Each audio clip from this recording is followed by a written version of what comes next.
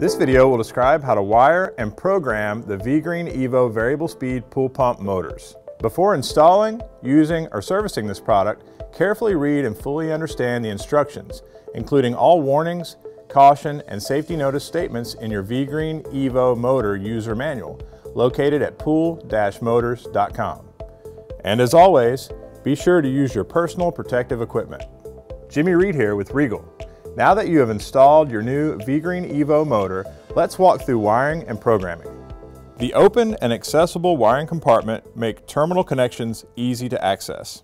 If needed, the wiring compartment may be rotated up to 180 degrees to allow easier access to terminal connections.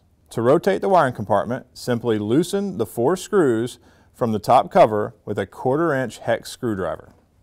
Unplug the single button user interface and set the top cover aside. Then remove the three screws that attach the terminal compartment to the motor mainframe. Rotate the terminal compartment to the desired position.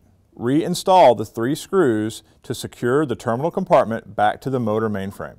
Plug the single button user interface back into the terminal socket. Place the top cover back on the terminal compartment and tighten the four screws. Now let's move on to wiring. Feed the existing electrical supply into the wiring compartment and secure the mains connections. L1, L2, and ground connections should be connected as follows. The V-Green Evo motors are equipped with auto-sensing dual voltage capability for 115 and 230 volt applications. Simply secure the mains connections and apply power and the V-Green Evo motor will sense and adjust to the input voltage. Secure the terminal box cover and reapply power.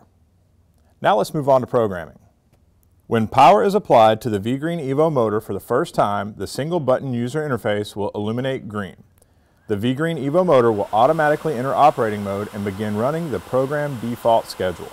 The single button user interface allows for programming flexibility with the push of a single button. The motor offers eight pre-selected operating schedules ranging from 1100 RPM to 3450 RPM, allowing users to best optimize their motor to minimize energy consumption and lower the overall cost of pool ownership, all while maintaining the proper pool environment. The V-Green Evo motor operating schedule can be set by entering the Schedule Set mode. To enter Schedule Set mode, press and hold the button for 3 seconds, then release. While in Schedule Set mode, the light will blink quickly.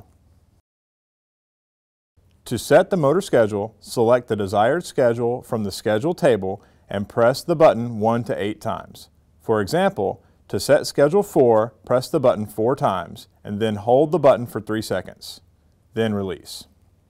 Once the schedule has been accepted, the motor will enter into schedule check mode and the light will blink back the motor schedule that has been set.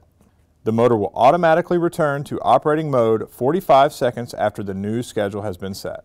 Simply use the existing timer or filter pump relay to cycle power daily, setting a defined start time. If no timer or filter pump relay is present, the motor will cycle back to step one every 24 hours. You are now ready to enjoy your new V-Green Evo motor.